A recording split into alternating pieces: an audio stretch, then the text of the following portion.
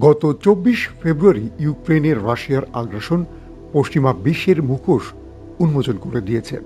উনিশশো একানব্বই সালে সোভিয়েত ইউনিয়নের মিলিয়ে যাওয়ার পর মুসলমানদের উত্থান ঠেকাতে তিন তিনটি যুদ্ধের সূত্রপাত ঘটানো হয়। ইরাককে কুয়েত দখলের উস্কানি দিয়ে পরে প্রতিক্রিয়া ইরাককে প্রথমবার ধ্বংস করা হলো।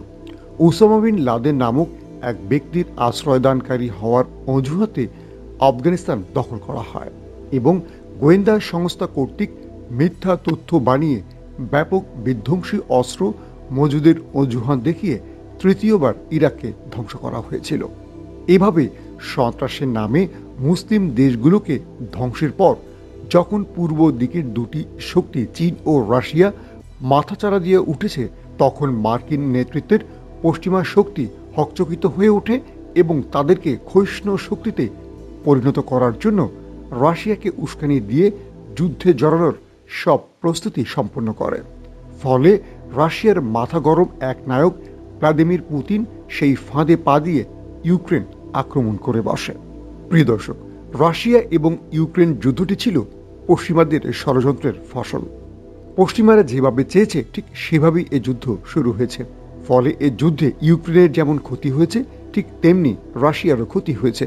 যখন রাশিয়া বিশ্বের বুকে আবারও মাথাচাড়া দিয়ে উঠছে, যখন চীন শক্তিশালী হয়ে উঠছে, তখনই পশ্চিমারা যুদ্ধ নামক এই ছকটি অঙ্কন করে। আর ফাঁদে পড়ে যায় ইউক্রেন এবং রাশিয়া।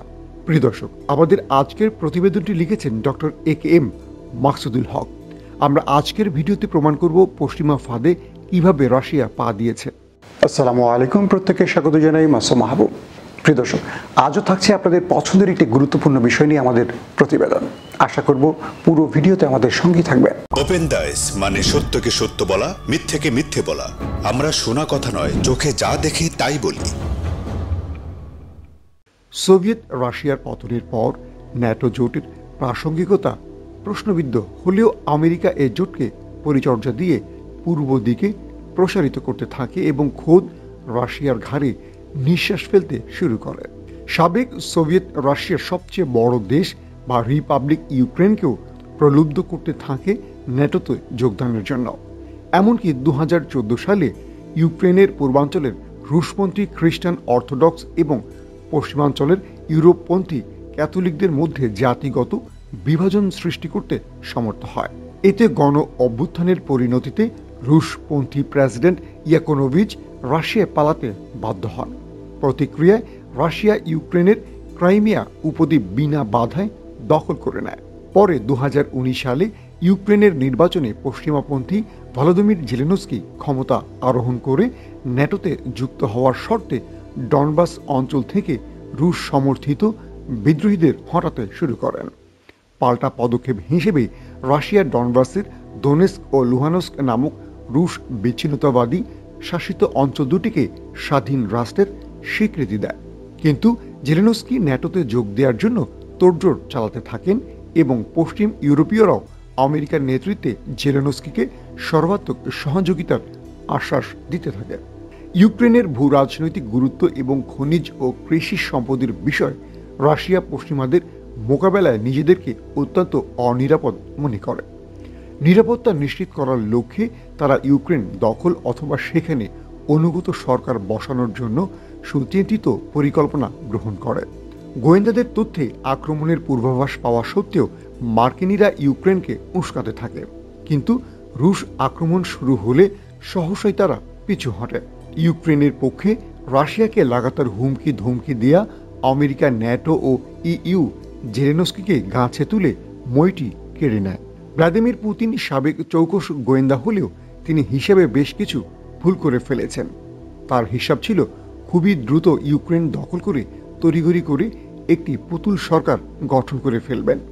রাশিয়ান সেনা ইউক্রেনে পৌঁছালে ইউক্রেনিয়ান সেনারা তাদের স্বাগত জানাবেন এবং ইউক্রেনের সেনাবাহিনী বিদ্রোহ করে জেলেনস্কির বিপক্ষে অবস্থান নেবেন।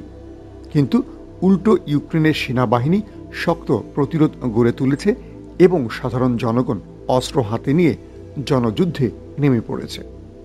তাছাড়া বছরের এই সময়টিতে ইউক্রেনে প্রচুর তুষারপাত হয়ে রাস্তাঘাট কর্দমাক্ত হয়ে পড়ে, যা রুশ বাহিনীর অগ্রযাত্রাকে স্থবির করে দিয়েছে। অন্যদিকে মার্কিন নেতৃত্বাধীন ন্যাটো জোট ও ইইউ যে এত বড় ধরনের অর্থনৈতিক প্রতিরোধ গড়ে তুলতে পারবে তা পুতিনের ধারণার বাইরে ছিল। সম্ভবত রাশিয়ার তেল, গ্যাস ও খনিজ দ্রব্যের শক্তির ব্যাপারে পুতিন অতিরিক্ত আস্থাশীল ছিলেন। অন্যদিকে বাইডেনের হিসাব একেবারে একশোতে একশো ভাগ মিলে গেছে। তৃতীয় কোনো দেশে উদীয়মান রাশিয়াকে যুদ্ধে আবদ্ধ করে অর্থনৈতিক কষাঘাতে তাকে ক্ষয়িষ্ণু শক্তিতে পরিণত এবং অস্ত্র বিক্রির এক বিরাট বাজার উন্মোচিত করার লুকানো উদ্দেশ্য সফলতা লাভ করেছে। জানা যায়, গত আট বছরে যুক্তরাষ্ট্রের স্পেশাল অপারেশন ফোর্স ইউক্রেনের সাতাশ হাজারের বেশি সেনাকে প্রশিক্ষণ দিয়েছে এবং তিনশো কোটি ডলারের অস্ত্র ও সামরিক সরঞ্জাম সরবরাহ করেছে। এ যুদ্ধ বহুমুখী প্রভাব ফেলবে সারা বিশ্বে। ইউরোপ, এশিয়া মধ্যপ্রাচ্য ও আফ্রিকার অনেক দেশ তাদের গম আমদানির পঁচাত্তর শতাংশের বেশি নির্ভর করে রাশিয়া ও ইউক্রেনের ওপর। পৃথিবীর খাদ্য বাজারে গম রপ্তানিতে রাশিয়ার শীর্ষে এবং ইউক্রেন চতুর্থ। আবার সার তৈরির মূল উপাদান পটাশ ও ফসফেট রাশিয়ার উৎপাদিত হয়। ফলে সারের অভাবে বিশ্বের খাদ্য উৎপাদন পঞ্চাশ শতাংশ কমে যাবে। সেই সাথে নিম্ন আয়ের দেশগুলোর রেমিটেন্স প্রবাহ কমে যাবে। রাশিয়া কিন্তু জ্বালানি ও খনিজ সম্পদের বাজারেও প্রধান শক্তি। তারা প্রাকৃতিক বাজারের এক চতুর্থাংশ। প্লাটিনামের চোদ্দ শতাংশ, কয়লার আঠারো শতাংশ এবং অপরিশোধিত তেলের বাজারের এগারো শতাংশ যোগান দেয়। রাশিয়ার গ্যাস ছাড়া ইউরোপ প্রায় অচল হয়ে পড়বে। হাঙ্গেরির নব্বই শতাংশ মানুষের ঘর উত্তপ্ত রাখে রাশিয়ার তেল ও গ্যাস। ইউরোপে রপ্তানিকৃত প্রাকৃতিক গ্যাসের চল্লিশ শতাংশই যায় রাশিয়া থেকে। কিন্তু ইউরোপের মোট পণ্য বিক্রির মাত্র পাঁচ শতাংশ যায় রাশিয়া অন্যদিকে, রাশিয়ার এই আক্রমণ বিশ্বের ছোট ছোট ভূ রাজনৈতিক ও অর্থনৈতিকভাবে গুরুত্বপূর্ণ দেশগুলোর নিরাপত্তা হুমকির মুখে ফেলে দিয়েছে। বিশেষ করে তাইওয়ান, চীন চলমান দ্বন্দ্বকে আরও উস্কে দিয়েছে। সাবেক মার্কিন প্রেসিডেন্ট ডোনাল্ড ট্রাম্প এরই মধ্যে বলেছেন, এই যুদ্ধ চীনকে তাইওয়ানে অভিযানে উদ্বুদ্ধ করতে পারে। ফলে তাইওয়ান চীনের সাথে সম্ভাব্য যুদ্ধ সম্পর্কীয় কৌশল বিশ্লেষণ করতে শুরু করেছে। ইউক্রেন যুদ্ধের প্রতিক্রিয়ায় আমেরিকার নেতৃত্বে যে অর্থনৈতিক যুদ্ধ শুরু হয়েছে, তার পরিণতি ভয়াবহতার দিকে ধাবিত হচ্ছে। ইউরোপের হাজার খানিক প্রতিষ্ঠান রাশিয়ার সাথে তাদের উৎপাদন এবং ব্যবসায় বাণিজ্য জড়িত। তাদেরকে গুটিয়ে চলে আসতে হচ্ছে। ফলে সারা বিশ্ব একটি অর্থনৈতিক মন্দায় পড়তে যাচ্ছে যদি এই যুদ্ধ দীর্ঘায়িত হয়।